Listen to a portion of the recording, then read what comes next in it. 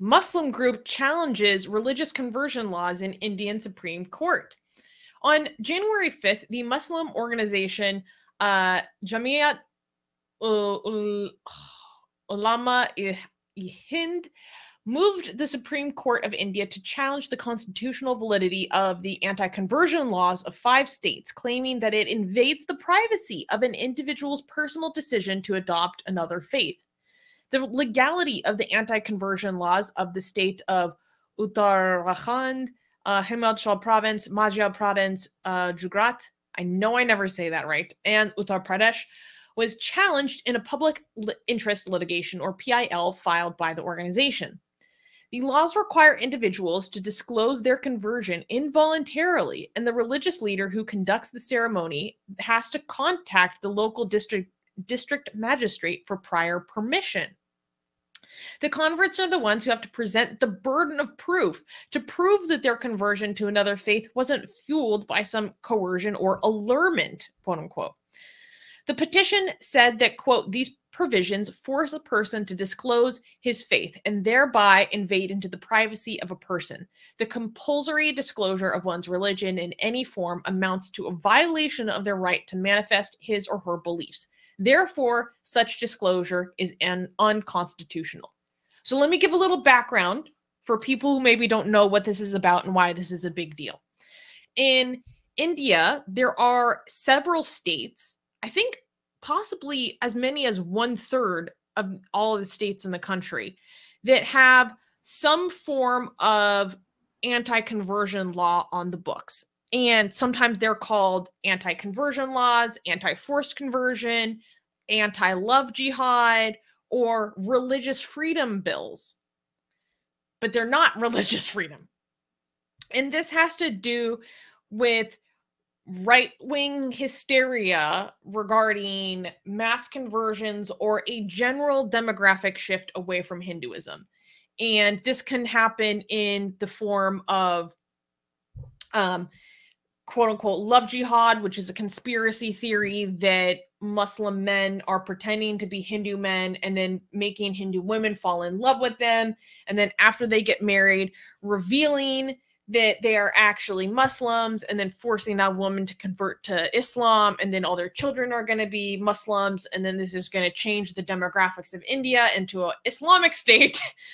so that's the love jihad portion of it. Or it's just general um, fears around people leaving Hinduism.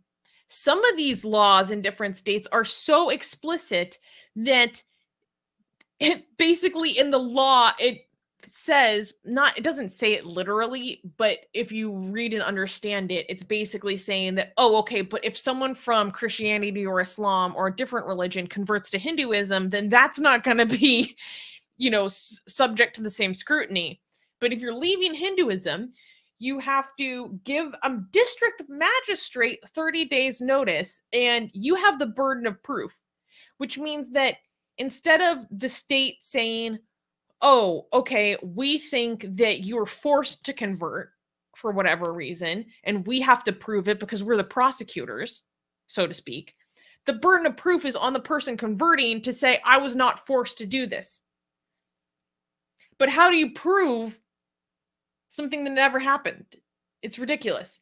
So, um, it's like it kind of the opposite of innocent until proven guilty, you know, so to speak. And so this is really obviously, in my opinion, a huge overstep of the state. It's weird as hell to me that the state would be involved with this to any degree. But then also, there are so many religious freedom issues surrounding this, like the, uh, dozens that I can think of off the top of my head. And this is supposedly in the name of religious freedom, right?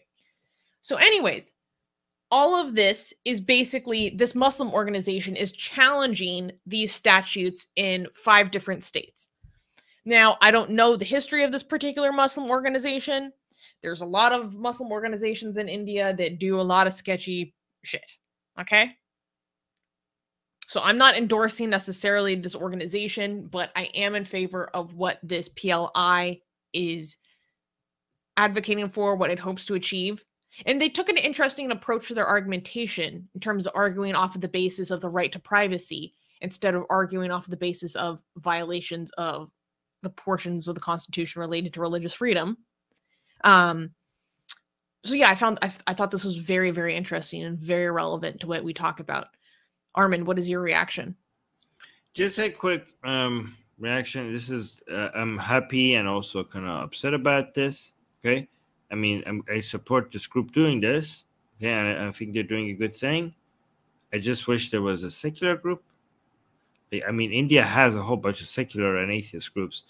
Where where have they been? Like, why have they not? Why did you guys wait wait enough for a Muslim group to pick this up? This is literally secularism. So yeah. let's be a little bit fair. In uh, okay. we, I think it was last week we covered a, a case regarding the, um, you know, quote unquote forced conversion law in Madhya Pradesh, and in that case, um, there was actually a rationalist society that spoke in the court against okay. the narrative that they were pushing. So it seems that there are rationalist societies involved in aspects of fighting this, maybe okay. wherever they can in their state. It was just this again, particular organization filed this before the Supreme Court. Okay, again, I'm not saying this Muslim group shouldn't be doing this. Okay, I'm not saying like, hey, stop. They should stop. Like, let let the rationalists or the secularists or the atheists do it. I'm just saying. I'm just hoping that the atheist groups or secular groups or rational groups in India are also picking up a lot of this, you know, work. You know, um, because we we need the we need the positive press for atheists and secularists in India, right? So don't you know this is could be a friendly competition don't let the don't let the muslims be the ones who are the, at the front of fighting for secularism again i'm not saying like stop them i'm just saying like outdo them okay because this is yeah. a good thing that they're doing i mean right? like we don't have nearly the same population and therefore funding to do this in the same capacity like let's also be fair right. this is a okay. global problem that our community faces yeah, but and we can and we can use whatever help we can get so whatever so and this is additional context. My understanding from what our Indian lawyers have told me in the past is that when a public interest litigation is filed, it's going to be years until this is heard before the court. Because we were, we had a public interest litigation filed against us. and that still hasn't come to fruition like two years later. So, um, and if it does get further in the court system, then it will probably be bundled into other cases that are dealing with the same issue. But the Indian court system is so notoriously overburdened that it could be years before this matter is dealt with, which is really unfortunate because people are being actively abused under these laws. Like right now, I, I remember we covered when the Uttar Pradesh law came into effect. Like there were people being persecuted just like normal ass Muslim dudes being persecuted because of that law literally within the same week. Like being falsely accused of notorious crap immediately afterwards. And so people are going to be getting their lives destroyed for like more and more years until this can finally be dealt with by the Supreme Court, which is just so infuriating. All right, we need to uh, highlight. Comp- we got a super chat and we got some comments. So it's, it's, but we, we, before we get to the super chat, read this one. Sorgu is. Sorgu is saying, "Do we know what the intentions of this Muslim group is?" Not specifically. I feel like I remember the name of this Muslim group, but I tend to get them confused, so I'm not going to make claims. I I do not endorse necessarily endorse anything this organization does. I don't know what their okay. agenda is. Okay, so we got a uh, super chat Secular, Secular Sakai. Sakai gave us a $10 super chat. Thank you so much, Secular Sakai. And also, Thank I you. missed you. It's good to see you again. Yeah. Um, he's saying it's been a super busy, busy week and a half for me. Traveling now, but we'll be donating $100 to Operation Iranian Renaissance when I get back to my computer today. Keep on updating us with the news, Atheist Republic. Oh my God. Thank, Thank you, you so much, Sakai. This is so generous of you. We should include a link, start including a link to that in all our videos to Opera. We haven't. Yeah, we should. I'm going to add that to my to-do list to make sure yeah. that we add that. Send, uh, yeah, send that to me. Okay. Um, Also, For those of you who do not know what Operation Iranian Renaissance is, Operation Iranian Renaissance is Atheist Republic's emergency translation project to provide life saving manuals for Iranian protesters translated into Persian. Because in Mm. English, it's super easy to find, you know, information on how to protest safely, how to make a gas mask, how to fight tear gas, all this stuff. But this isn't easily found in Persian. So what we're doing is we have a whole project dedicated towards doing the translations and making materials that are easy to read with visuals and all this stuff to get this information to people inside of Iran because obviously there isn't much else we can do to support them. But we have a huge community in Iran and it's very important to us and our heart so this is what we're doing. So thank you Sakai for being such a big supporter of what we do. Um Okay, let me add this to my to-do Okay. list. Also, okay, uh, okay. Also talking about funding, we have another comment by One-Eyed Heathen saying, "You want to respond to this, Susie? Look at this." One-eyed heathen is saying, "Wait, people are suing you? Why?" well, good. Glad you asked. Um, in 2020, Armin made a tweet that blasphemed a Hindu goddess known as Kali Ma, and that set off two years of bullshit that we had to deal with.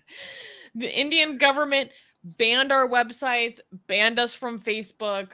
Uh, people were taking us to court in the Delhi High Court because of our tweets. We're technically taking Twitter, and then we became a party to the case. Like lots of legal details. we were mentioning the Supreme Court of India, like the in the the Supreme Court of India. Our our Twitter account and everything was brought up, so there's that. So why are people suing? Oh, we've had police reports filed against us, Armin. Yes, yes. Yeah, yeah, yeah. We've Yeah, that's poli- for blasphemy. Our lawyers have officially told us that we should not go to India. Yes. so why are We have had people to- suing you? we have had For to hire blasphemy. Yeah, we have had to hire lawyers, lawyers, and we had a whole legal fund and everything, which is uh, still ongoing, by the way. So, yeah, if you could support us, that would be great. However, do not support us again. Uh, when I hear them saying, "Oh wow, would love to donate to you guys. I'm currently broke. I totally support getting info about safe uh, protesting in Persia." Yeah, guys, if you are struggling financially, please donate. Don't donate to us. Just like the video. Liking the video helps our channel grow. So just do that, okay? So, these, yeah. these comments are hilarious. Wait, yeah. bread, bread of life, Rebecca, I love you. Oh, hi. You again. She's saying, "Who would have known that it would be more controversial to blaspheme a Hindu god than Islam?" Exactly. That's so true. And the activists that Armin has known for 15, 20 years of doing this activism, they're like, we have never seen this, and we've been going after Islam for over 20 years. like, um, Shriyash's comment sends me most expensive horny moment. this did turn it. Armin, your face. You're like, yeah. Hmm. Um Wait, yeah, the, we've had uh, quite a journey over the past two years. And keep in mind that this happened all during my first year of C- as being a CEO of Atheist Republic. Let alone an activist in general. I was like, what is happening? um, Hindustani uh, Bao is saying Indian courts are full of uh, Brahmin population as judges, almost 80% of Brahmins as a result of what? Uh, Collegium- system, collegium system, like college, the- I think. Uh, this decrease the justice rate. Okay, okay. Um, also, it seemed like you didn't pronounce something correctly. Did you say Gujarat wrong again? Gujarat? I don't Gujarat. know how to say it right. Gujarat, Guj, Gujarat. Gujarat. repeat after. What did you say though? Did you say Every time something I say it, people, I think I said Gujarat, the Gu- Gujarat. No, not Jew, not Jew. It's not Jew. It's Gu. Okay, It's not but Jew, every time I, someone tells me how to say it, they tell me how to say it differently than the last time. So I've just I've just embraced always saying it wrong. And it's just a part of who I am at this point. It's a character, it's a feature, it's not a bug. What Secular Sakai just celebrated um, his nine month membership by saying also gonna donate fifty dollars to the legal GoFundMe. Oh wow. Wow. Oh my god. Thank you. Thank you. Thank guy you is so, so much. generous with us. I can't even believe Yeah. it. See, look at now Shriyash is saying telling me how to say it differently. Okay, it no no. The main part is don't say no. Okay, the rest if you get wrong is fine. Okay, just don't say Jew. Just say goo. The first part is the part people don't ever say Jew. Just say Gujarat. goo. Gujarat. Yes. Okay. Yeah. good. Being dyslexic does not help the situation at all. You can now get the sexiest blasphemous art ever known to mankind for free. Too sexy to show most of it here on YouTube. We draw Muhammad, Hindu goddesses, sexy hijabi art, Jesus, Mother Mary, Japanese god, Greek gods, and much, much more. Click on the link below where it says get our free blasphemous art.